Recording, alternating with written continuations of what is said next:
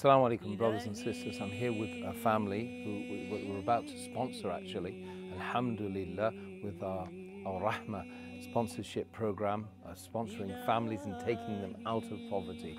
And we asked the sister what would she use this um, payment for.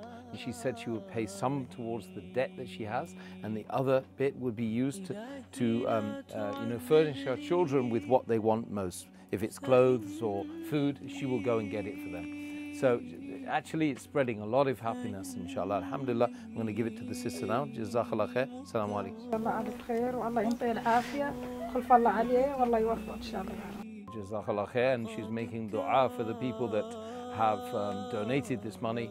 So we have tens and tens of thousands of families in this situation. Keep giving, brothers and sisters. This is spreading happiness, and eventually, this family will be in the situation that uh, they don't have to be reliant upon anyone's help, you know, at all, and they'll be, um, you know, removed from the poverty list, inshallah.